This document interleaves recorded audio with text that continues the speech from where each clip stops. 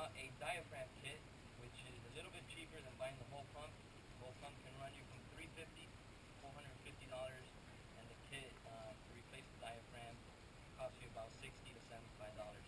So we're going to show you guys how to fix and repair the VRO pump and install the diaphragm. Enjoy. Here we have a number 10 millimeter metric to remove these three bolts. There's one here, one down here. Actually, there's only two bolts, I'm sorry. And here, we're just going to remove it.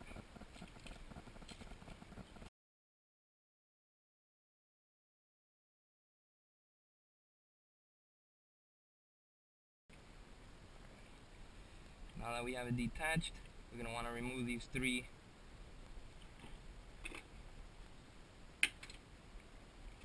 right here. You want to use a flat screwdriver just basically loosen them. You don't have to take them completely off, just loosen them so you can remove the holes.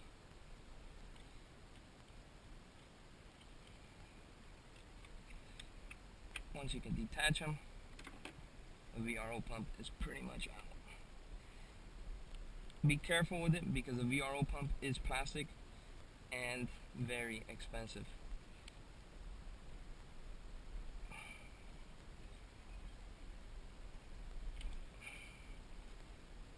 And lastly, there we go. This is the VRO pump. This here is the fuel side. This here is the oil side, which we have eliminated and we don't really use.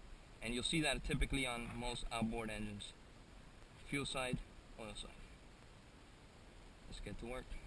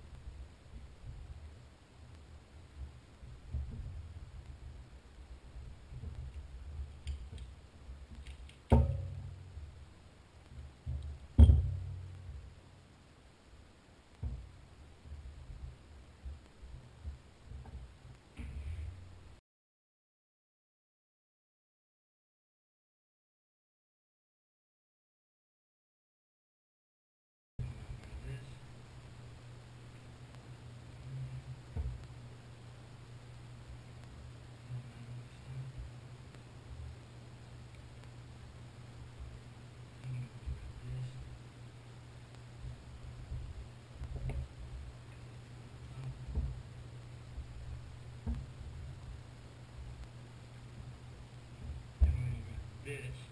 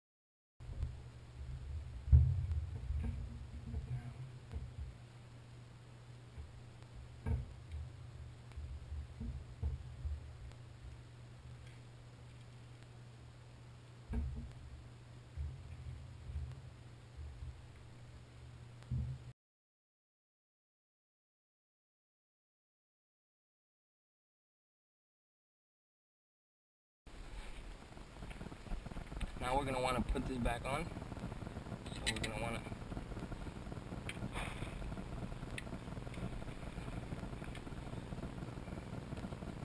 Just hand tighten this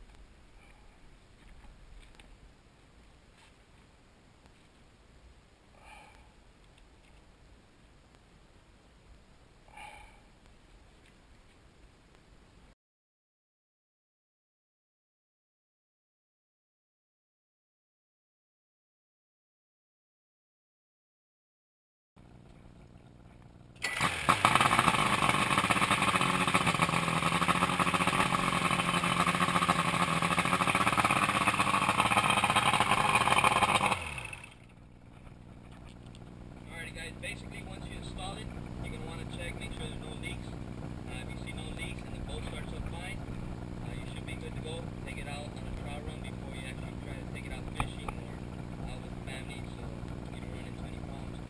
But uh, we took care of that problem. We showed you how to put in the diaphragm. Hope you enjoyed the video. Stay tuned and make sure to check out our YouTube page for more tutorials. Hope you guys enjoyed it. ReelTeaseFishing.com